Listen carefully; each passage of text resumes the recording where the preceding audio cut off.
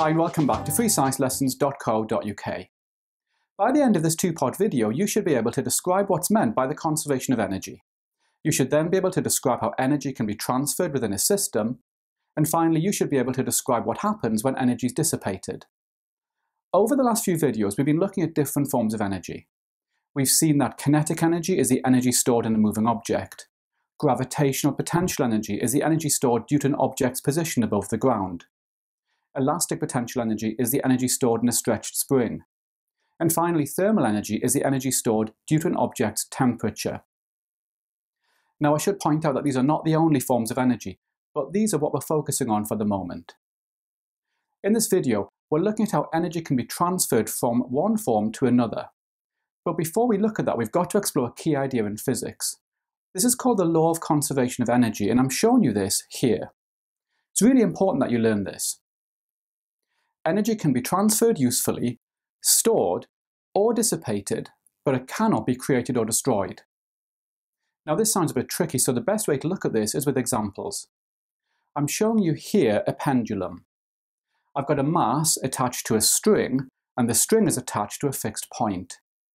Now scientists call a setup like this a system. There's nothing tricky about the idea of a system. A system is just an object or a group of objects. So in this case, the objects are the mass, the string, and the fixed point at the top. There are also air particles, and all of that is the system. Now, I want you to imagine that no energy can pass into this system or out of this system. Scientists call that a closed system because no energy can enter or leave. So if we take a snapshot of the pendulum, we can see the energy transfers more easily. At the top, the mass has the maximum store of gravitational potential energy. As the pendulum swings, this is transferred to the kinetic energy store. The mass has the maximum kinetic energy store at the bottom of the swing, since that's where it's moving at the fastest speed. Now, as the mass swings back up, the kinetic energy store transfers to the gravitational potential energy store again. It's really worth learning these energy transfers as this often comes up in the exam. Now, there is a problem with this model of energy transfer in the pendulum, and that is that we've not considered friction. As the pendulum swings, there's friction in the fixed point. There's also friction as the pendulum passes through the air particles. Now, friction causes energy to be transferred to thermal energy stores. The fixed point and the air around the pendulum gradually get warmer.